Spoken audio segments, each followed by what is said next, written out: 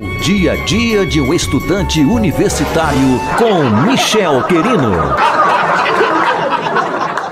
A análise do discurso é uma Fernando. prática de uma Fernando, que é? Você tá entendendo o assunto? Tô querendo, mas você tá me atrapalhando. Nossa, que grosseria, hein? Na hora de me pedir caneta emprestada, tu fica aí todo mansinho pro meu lado. Me deixa quieto. Ai, eu tô decepcionado contigo, O eu... professor vai notar. Para de falar comigo, Adeildo. Olha, não fala mais comigo não, hein? Nunca. Marcela.